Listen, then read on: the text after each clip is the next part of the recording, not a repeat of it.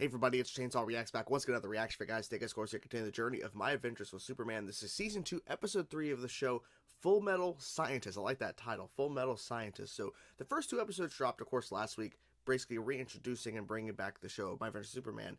And the first two episodes of season two, I think overall were pretty good in terms of bringing us back into the show. And then, of course, confirming officially Alex is Lex Luthor. We pretty much all confirmed that, and they confirmed that in the marketing, but we have him interacting with Amanda Waller.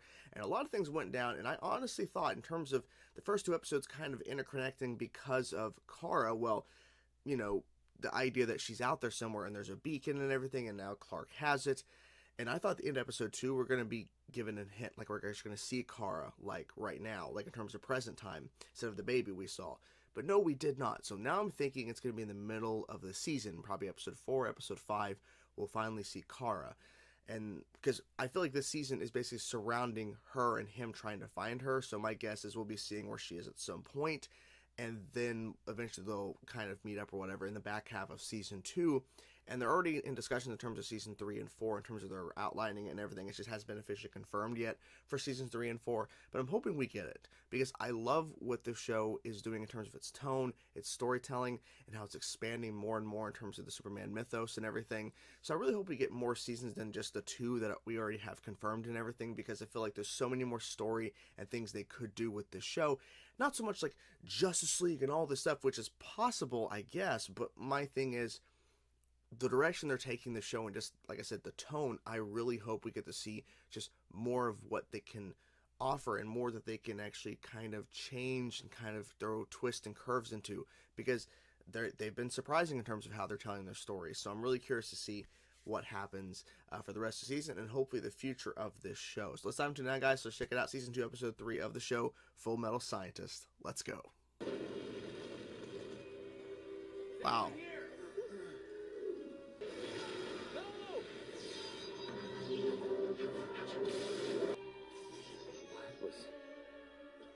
That was interesting. Are you alright? He saved him though. What's your name? Silas Stone. I'm okay, man. Silas? Oh, look at that. you made it out. Mmm. Oh, I hate that it came to this. It's gone. All of it. Perfect. I'm Dr. John Irons, lead engineer at Amertek. Mmm. Hey, John. Right here in Baker Line. I am not sending you to cover stories on your like he's own. just sitting there in his underwear. Uh, like he's like. Mr. Lane. General. General. My bad. I thought. Maybe you can claim. That's it. Flip, you will not report on crazy robots with your He's losing on it. Nope. I'm your boss, and you should really clean up after yourself. Good luck, buddy. Good morning, Mr. Lane. Uh, And Awkward. where were you last night? Uh. I woke up and you were gone. You are awake. And one day your screw up act is going to hurt my daughter. Mm. Mr. Lane, I'm I'm late to meet Lois for coffee. That's not why I wanted to meet. There's something I really need to talk to you about, Lois. She's she's already gave her opinion on that. Okay, today is not going great, but Oh, but you'll figure it out. Hopefully, you'll turn around.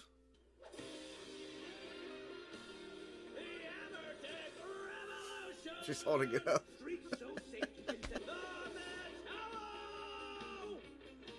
The Metallo.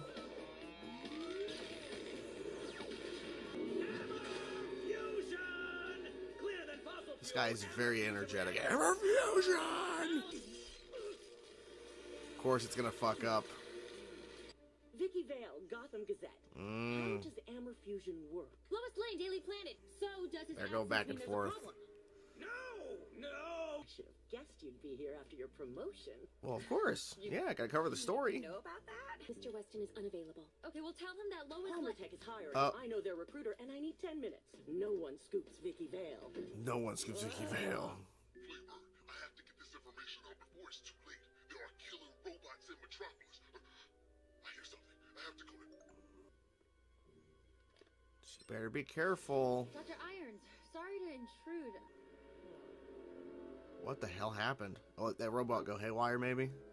no Dr. Irons. And a lab blown to smithereens. They're gonna work together, actually, or Something's I going on at Amertek. She's it. Run away! Run! Run! Run! We go now.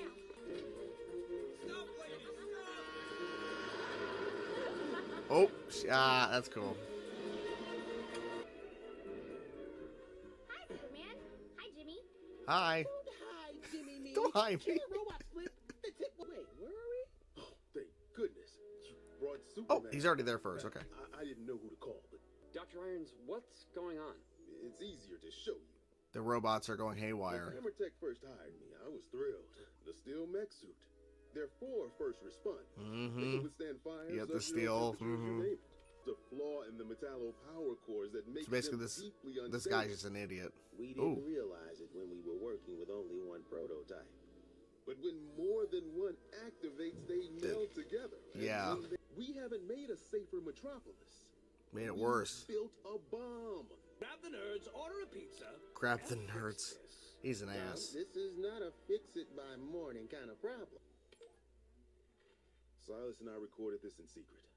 But everyone we tried to talk I'm guessing split Silas still our questions. needed the He fired us. his file. And then to- Dr. Irons. Lois Lane of the Daily.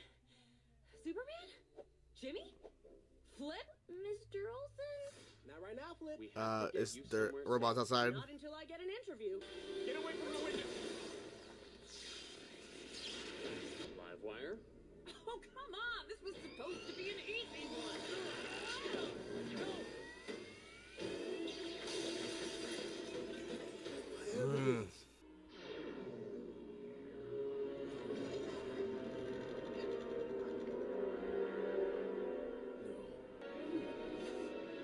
Got dark all of a sudden.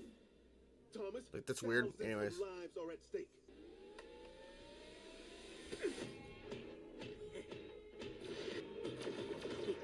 He's lucky they're bad shots. I gotta, I gotta fight back. Come on. Come on, man. Okay, here we go. Okay. And it's a really bulky suit. The hammer, of course, yes. Hammer time.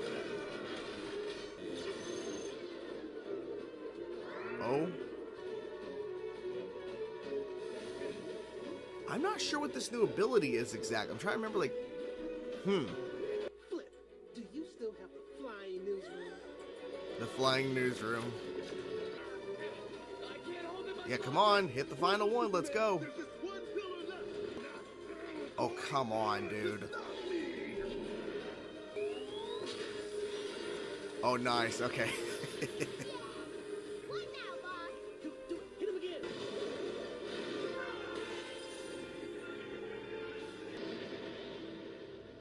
a little too close. A little too close. I'm not a bad guy. I I'm- mean, you are. had to stop you from blowing up the city. I've been writing my story on my phone all day long, and it posted 10 minutes ago. That's right. No one scoops Lois Lane. How'd you like the number two reporting spot at the Gazette? Oh, what? Huh? You're offering me a job? You're ambitious. Sooner or later, you'll have to move on if you want to Mm. move up. Nothing lasts forever. We'll talk later. Okay? They can never have that moment to chat about her job offer, him Hey. finding the beacon. Well, And when Superman faltered, it was Dr. Irons who saved the day. Metropolis is more than a city. It's the sum of its people. We got orders to escort you off the premises What? permanently. Uh, what? By who? By me. Starting today, Amertek and all of its IP are owned by LexCorp.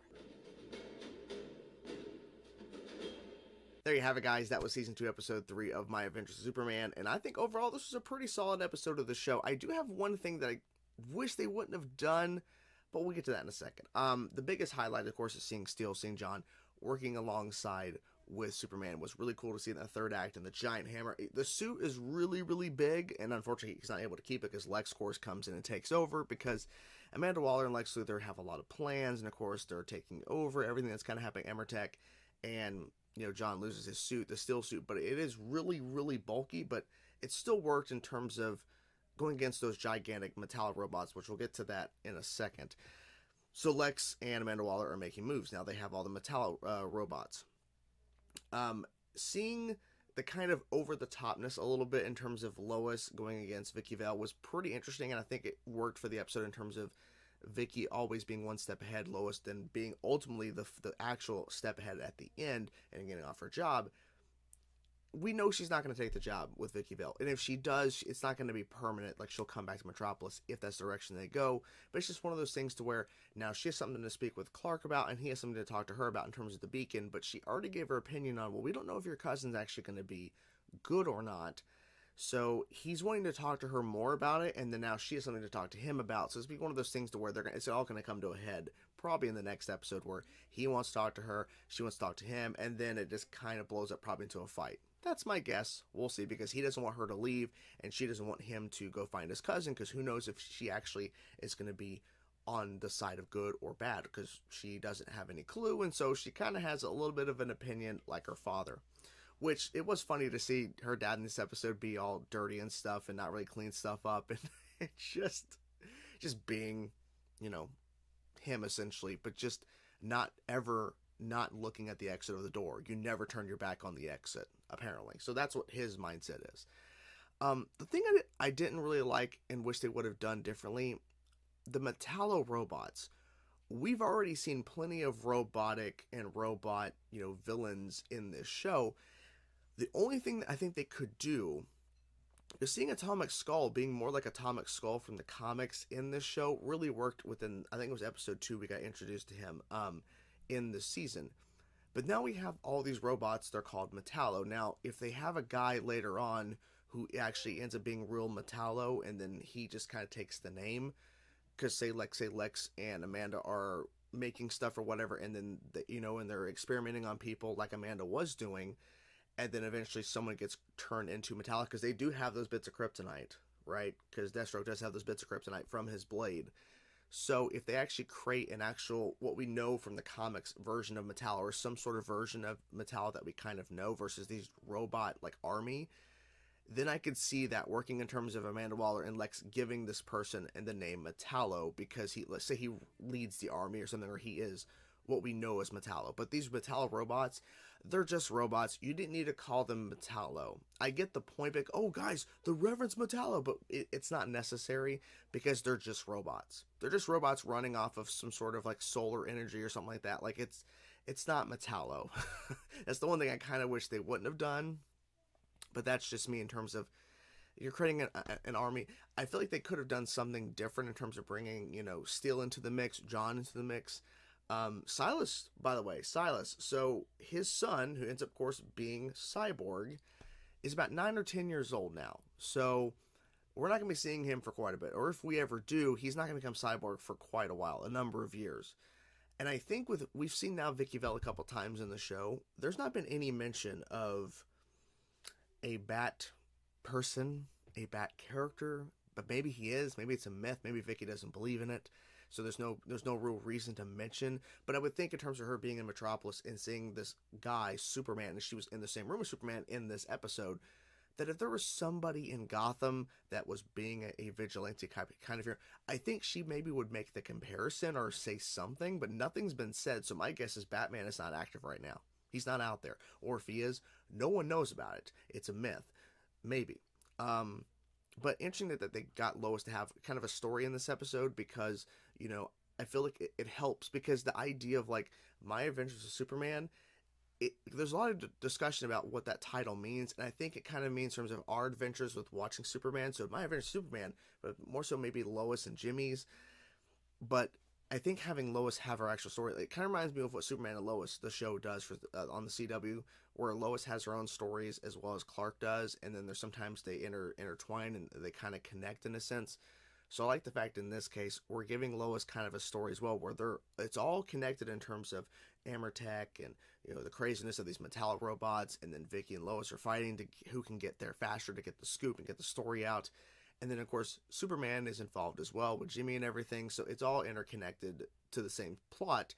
But having Lois have her own separate little thing with Vicky, I think was interesting to kind of add to the episode because I'm not sure what else you could have done time wise to add to the episode if that wasn't there.